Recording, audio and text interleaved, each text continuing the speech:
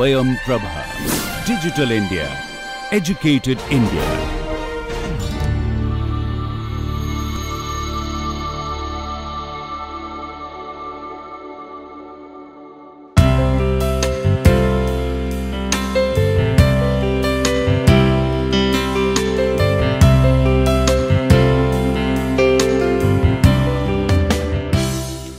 Everyone, welcome back again to the online NPTEL course on structure, form and architecture. Today we are at lecture number 35 and this is uh, something interesting that we will discuss uh, in this lecture. So far whatever we have uh, understood about different structural form, different requirement, even recently we have covered uh, the structural form and structural arrangement for like uh, seismic prone area, windy area and there are different consideration. Now, in this uh, lecture we will be focusing on uh, the structure and light in architecture. So, there are some structural arrangements, structural form which will help to uh, uh allow daylight and the natural light alternatively we can say uh, to create some beautiful form and architecture. So, in this lecture we will be discussing on those kind of uh, structural element and also we will go through some of the examples. So, let us get started. So, at the beginning uh, if we just uh, mm, try to again recap what is architecture and then the many definitions will come into picture like it is articulation of space sometimes it can be represented by the texture different component of design the color and then the uh, is shape space. So, like that here uh, what is written in this slide the aspect of architecture the aspect of architecture such as space, material, color depends on the lighting situation. And it is obviously uh, true and we all accept that. In absence of light we cannot actually see any objects. And even uh, we can change the color of the object with some lighting uh, because of different filtration. Nowadays even we know these things uh, this is available in our uh, smartphone devices different photograph that we take and then we apply different filter different toning. So, by which uh, the changing the color uh, of the light and the intensity we can really make a change in the outcome. So, is true for uh, this case where uh, the light then the object and observer these three parameters will determine how we can perceive one structure. Uh, and next like different uh, visual experience and moods being provoked by the application of dynamic daylight and artificial lighting. And uh, definitely it has a relation uh, with your um, visual experience.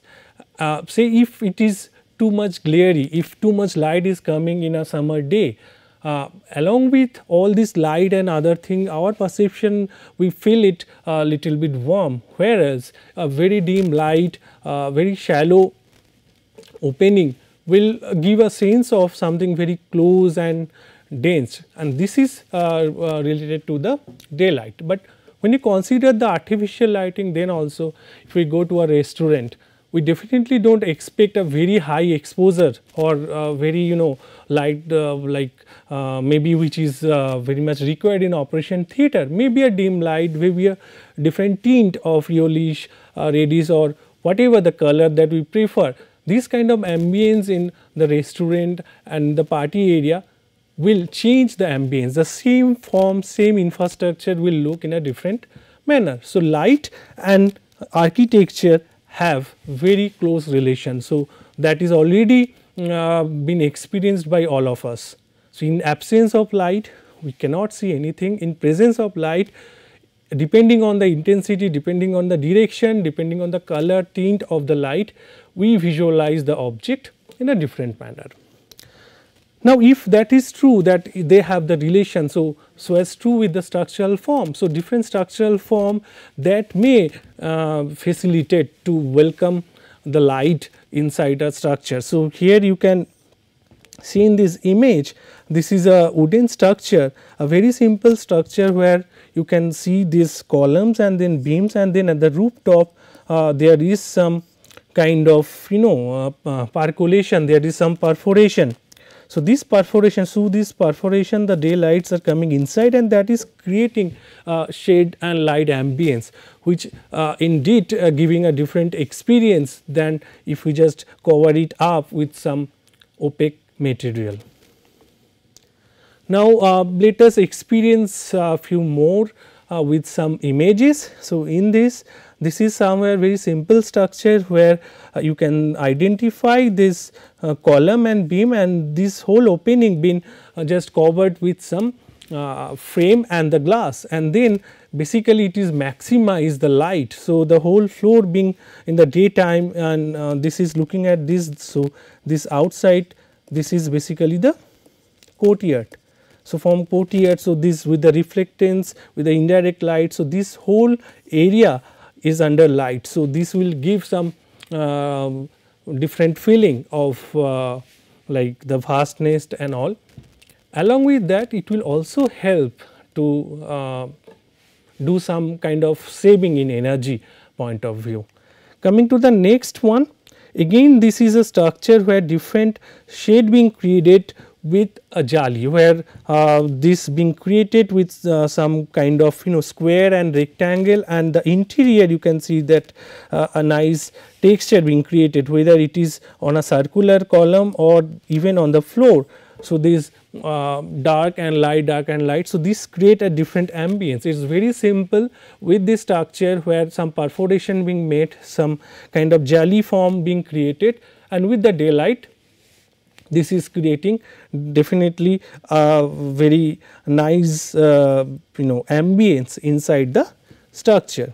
Now, uh, moving uh, forward to this one where this is a swimming pool and where uh, the roof been covered with some kind of structural arrangement where you know with the inclination with the sun. So, there is a indirect light penetration not the direct one not the direct glare here also the application of jali by which the light can easily penetrate and this whole area is giving a dramatic feeling uh, which is also uh, one of uh, the point of appreciation in this case where this whole area in the daytime is being illuminated. Now, the question is if it is so then what will be the case in case of the heavy rainfall or maybe uh, like there is heavy dust. So, definitely for that this will not be really uh, a good option, but uh, wherever the option is there we can uh, still maximize the daylight. In terms of making things beautiful if we place in order we will get a better result. Along with that some saving on energy consumption as well. Now, this is another one uh, this is very beautiful example I liked it much. So, with this small opening you can see that how this light being reflected from the ceiling and create some nice ambience in this particular corridor. So, with uh, direct uh, light to this surface and then the reflected light which create a different gradient at the rooftop. So, in this image this gradient is giving some uh, you know different feeling and this light and shade is giving adequate uh, lighting to work in the daytime and this is creating nice uh, environment. Coming uh, to this example where uh, the truss uh, the member like this you know line that angular member being repeatedly used and that is being covered with a glass in order to stop the rainwater penetration to the building, but this is uh, giving enough indirect light okay, which is uh, refracted from this ceiling and then it is creating nice environment. So, this is another application where this uh, the structural form that uh, the system the arrangement that been picked up which maximize the penetration of daylight. Coming to this, this is another uh, example where you are building this particular dining area and this is the kitchen area being uh, illuminated by the daylight. So, what exactly it has been uh, they, uh, in this uh, uh, you know example what the architect uh, has done here that put some glass in this particular cover. So, which will allow this building to take the light inside. At the same time it will protect the building from the rain or such you know dust from the outside. So, this is another application and again with this uh, white color and this with reflectance. So, this is giving a, a sense of uh, you know gradient. So, it is giving nice experience. Now, this is the example from uh, the Louvre Museum. So, here also the in, in interior story, uh, the in interior space of uh, this building is really uh, getting the maximum of the daylight with this uh, you know steel members, steel frames and along with this glass covering. So, which will protect from the external uh, rain or maybe the wind, but at the same time it will have a direct connection with the outside environment. So, this is creating a nice sense where the structure being used to welcome the light. Now, coming to the light source and structure this is very important uh, and so far whatever I uh, just uh, told about is all related to the daylight or the natural light and the source is sun basically. But in this context of the source the structure as a source of light refers to the type of structure which will allow direct light penetration the maximum light it can penetrate. In many cases it may happen that the uh, structural material that we use of translucent type where a diffuse light can you know enter. Say for example, um, if we consider the membrane in membrane structure depending on the translucency of the um, you know the membrane we can get some diffuse light, but in the system wherever a system being aligned they join together or creating with the truss kind of material, it will be more effective. So, here in this uh, what is mentioned the sun is the clearly source of the natural light, open structural forms like trusses, space frame, mega structural openings and even the areas where the structural members are normally connected those areas can admit light if we can uh, do it in a uh, nice manner. In this context definitely uh, in order to get the light inside you have to have some opening.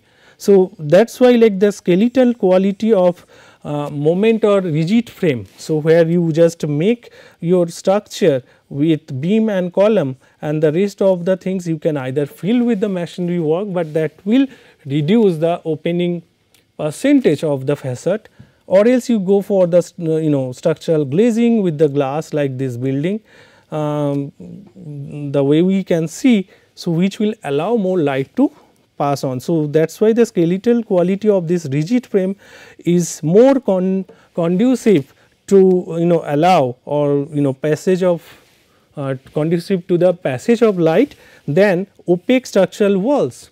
So, in a high rise structure what we have seen that in order to make it more resi uh, resilient to the lateral load, if we can go with the shear wall. So, which is basically a very solid and opaque uh, screen which will definitely protect in that sense, but that will also block the view. So, in that case if we can go alternatively with some frame or super frame that may uh, really help. So, we will be discussing on high rise structure in some upcoming lectures of this course. Uh, there we will see that how alternatively we can even uh, make our high rise building structural uh, like um, structurally resilient to, to uh, for this kind of lateral load without compromising the opening uh, for the building, opening to the outside of the building. Now, uh, again the structural function as a primary light source basically which will allow like uh, the passage of the light occurs where the light passes through an opaque skeletal structure. So, uh, it is uh, better to have a skeleton structure like uh, making of the space frame, making with some wall truss, something like uh, mm, you know, this arch form where the covering will be done with some glass material or transparent or uh, translucent material. So, that will help to welcome the light. So, here you can see uh, two images where this uh, particular space is being formed with this frame where the arch frames being uh, made as a structural component and then uh, this being connected with uh, against steel and being covered with the glass. So, that will protect uh, from maybe the direct heat this will have this property of the structural uh, you know which will not allow anti glare uh, glasses which will um, remove like minimize the glare as well as it will give the adequate light. Down this example is from your uh, Bangkok uh, airport. So, where you can see the waiting area this is uh, being illuminated uh, with the daylight which this again your you know some kind of structural arrangement with the steel frame and then the glass combination. And this application is not uh, uh, it's only used for this airport. Most of the airports that we can take, the airports in India, international airport or maybe there are examples where uh, this kind of waiting area and where uh, you have some kind of uh, you know transition. So, those areas being highly illuminated with the natural light with the truss uh, frame or maybe the space frame uh, and that is basically giving a nice experience of light and shade along with the energy uh, efficiency. Coming to the structural form and light. So, if we can classify the structural arrangement uh, which will direct to the uh, you know allowing the light and all. So, we can uh, specify it in four different ways. One is the structure as a source of the light, then the structure used for maximizing the light where the main uh, the whole structure probably uh, we are making to in, uh, you know get the light inside maybe a glass house concept where we need to have this kind of structural composition where the inside will get uh, the maximum light from uh, your the natural sources. Then the modifier of the light sometimes we may use some structural uh, form or structural mm, uh, material which will modify the light. Modify the light in the sense like it may be due to the reflectance of the uh, uh, you know light or maybe it is due to some filtration. So, whatever the light form, so that will be little bit filtered to that structural system and create some different uh, ambience. So, we will uh, see the example in this category as well and then the modified light, uh, uh modified light is basically uh, modified uh, Uh, by light. So, if we uh, now look into this uh, you know structural form that will allow light or that is welcoming the natural light to the inside of any architecture so, we can broadly classify them into four category. The first category that you can see in this slide that the structure as a source of light. So, some structural arrangement like truss or space frame which will allow direct light to come inside or make, uh, you know that will uh, help to you know create environment like the airport I have shown and there will be more example to come then uh, there is another structural arrangement which can maximize the light. So, the objective of those structure is basically to maximize the daylight penetration. So, like in a glass house uh, where you create a dome like structure or vault like structure where uh, this is basically some kind of you know steel frame and that being actually uh, repeated and then finally what we get this particular form which is full uh, transparent. So, where the light can easily uh, penetrate. So, we use the maximum daylight. Now, uh, when we call uh, this the penetration of the light, so many a times we will avoid the glare we only get the diffuse light or maybe sometimes the direct light uh, if we can um, you know allow that. Then the modifier of the light sometime the structure being used uh, to modify the light it will create it will help to create some light and shade combination which enhance the quality the visual quality of architecture that we have discussed the different visual quality uh, at the beginning of this lecture maybe the first week uh, there we have uh, first week lectures that we covered based on that the visual quality. Now, the last but not the least is uh, the modified by light. So, uh, sometimes the structure uh, in case like whatever the form, the texture, the position, um, this kind of visual appearance will be modified by the light. So, with the direction of light, with the amount of light and in intensity. So, that can be also one of the component that structure getting uh, modified with the light. So, now we will focus on each of them and try to understand that with some example. Now, uh, in this category where the source of light, so this is one example from uh, sports center where uh, now in uh, this is a you know time you can easily identify this structure and yes I guess all of you uh, got it. So, this is your um, tensile fabric structure. So, these are nothing but the you know compressive mast and this is the membrane which will be giving tension. Now, the point is uh, with this translucency of the material it will allow light inside is one portion, but if you see that particular joints where uh, this you know floated members is getting attached or maybe with the mast. So, this portion is allowing the direct light penetration. So, this is very useful. So, this portion is basically a conical shape and this being attached with this. So, this portion will allow light to go inside. So, this portion is maximize uh, you know allowing light directly inside. So, daylight enters the junction between uh, your flying strut. So, this portion and also the fabric membrane. So, this is one of the such structure where this can be done. Even the application of this membrane structure is mostly used in your stadium and in the stadium we also get some kind of diffuse light for the spectators. This is another wonderful example from San Francisco International Airport where uh, the whole structure is being made with the uh, truss frame and in this uh, you can get a very nice combination. So, this kind of folded this boat like structure is uh, also giving a sense of a petal and this is giving a nice view of the roof as well as uh, essential functionally it is giving some light inside. So, all these openings if you see this detail, so this form allow the light to enter and then the area being illuminated.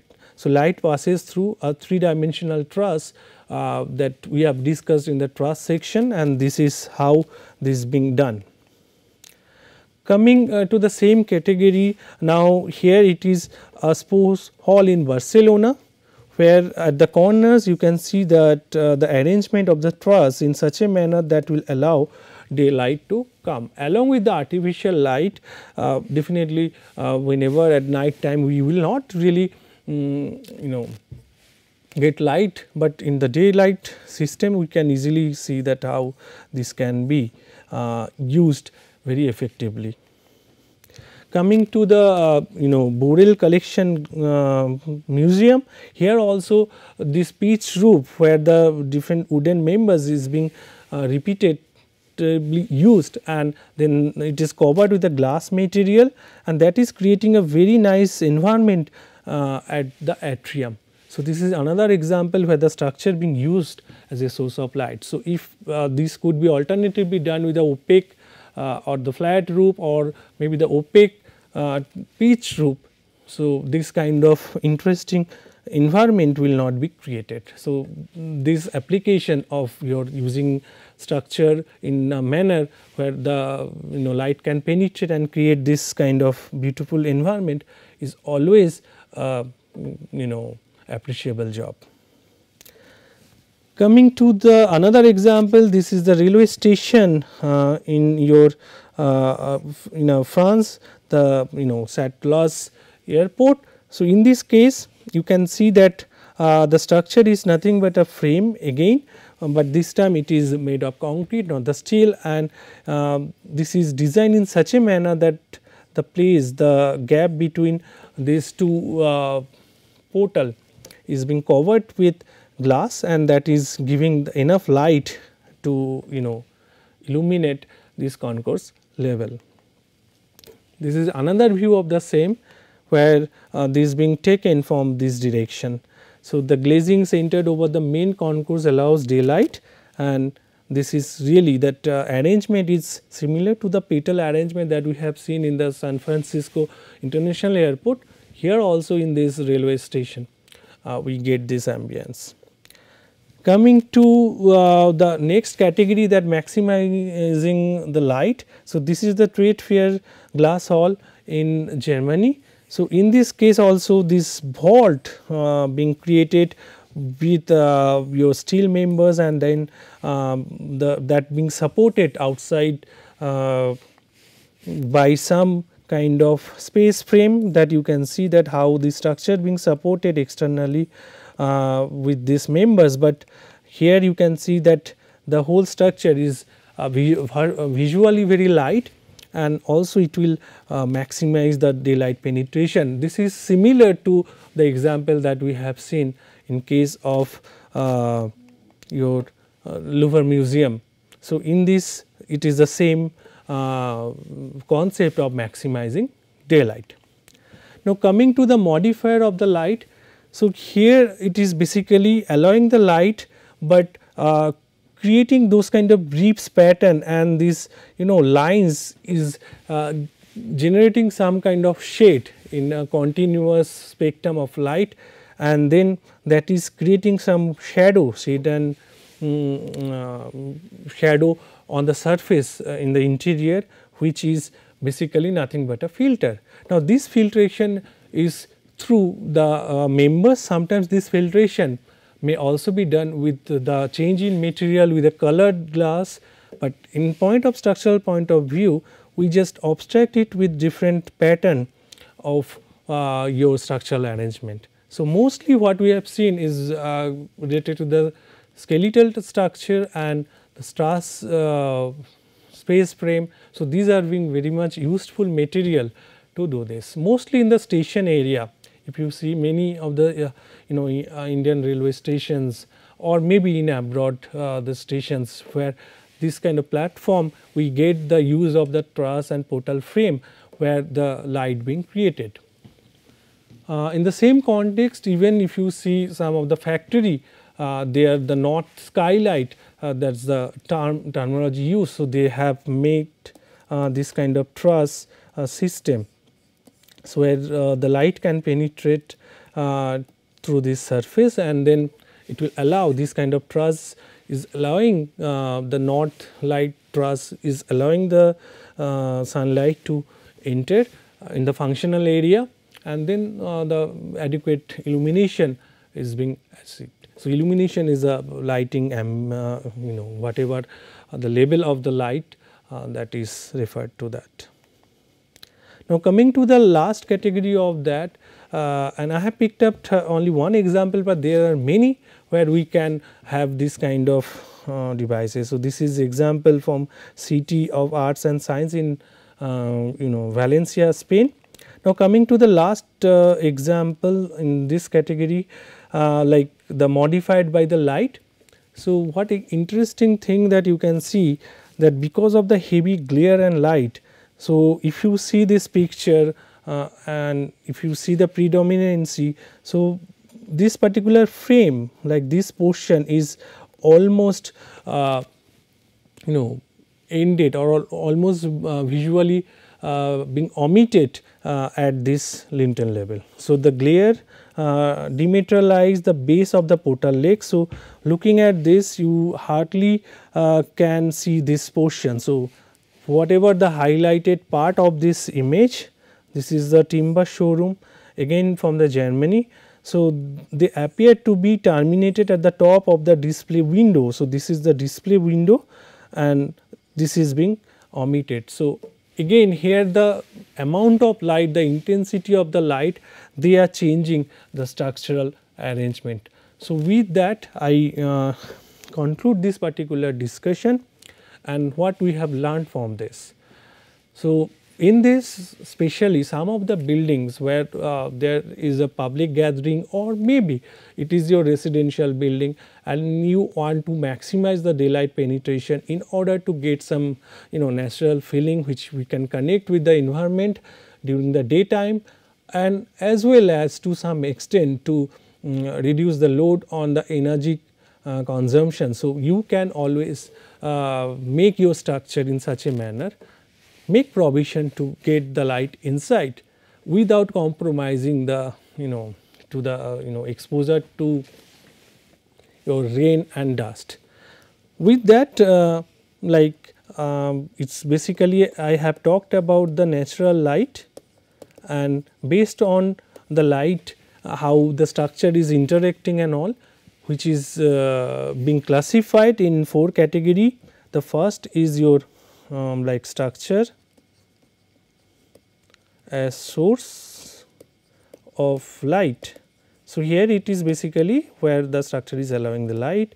The second category that we have uh, seen that the structure is maximizing light then uh, the other third category is your um, you know your structure which uh, make the modification okay modifying the light and then uh, structure modified by light. So, in this we have seen uh, the examples of different airport where uh, like uh, you know the top portion may be this being exposed to um, the light and then with the reflectance and also this will get illuminated. Uh, in the second category maximum lies is uh, you know example of your uh, greenhouses uh, so, where like all these vegetations are getting the maximum of the light through the structure where like the steel frame being used and then the glass covering being used to cover it. Now, structure which is uh, modifying the light is basically the create the shading devices where instead of uh, single frame we can use some kind of pattern uh, or jelly jali type of things which will you know allow uh, light to penetrate, but that will also create a pattern. So, that is uh, being modified.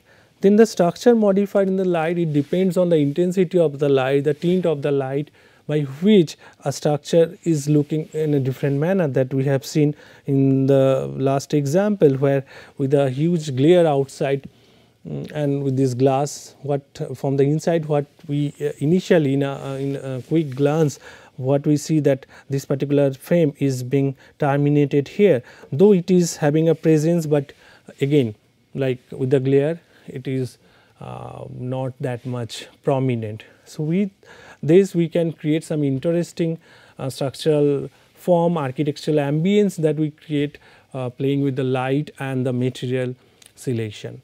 And in this uh, what we have seen most of the time that this can be created with the skeletal uh, skeletal structure rather than a opaque structural walls or the masonry work. So, wherever we go for the uh, frame, uh, beam, column structure and uh, structural glazing. So, that will help to maximize it and for the roof covering for the open public area like airport or the stadium or maybe somewhere is a convention hall. In that case we can use the light structure uh, of like space frame or truss to do this kind of arrangement where that will help to welcome light in a larger quantity without compromising uh, the other adverse effect for the opening. So, with this we can really create. So, this is all about uh, your structure and light interaction in architecture. So, with this I uh, stop here and um, these are the study material you can go through. Already I have uh, given this uh, book references earlier, but then also you can um, go through it if you can get access to this. So, with that we will be looking for uh, something that I have talked about so many times in recent times that we will be discussing on the high rise structure, how this will be designed. So, we will be talking on your uh, evaluation of high rise structural system in my next uh, lecture and we will be discussing on different uh, structural composition and then we will slowly um, go with uh, each of the component where for uh, this high rise uh, building phenomena against the wind and earthquake and how different system can resist it. So, uh, with that um, I again thank you all to take part in this course and we will be meeting in my next uh, discussion in the next lecture. Thank you very much.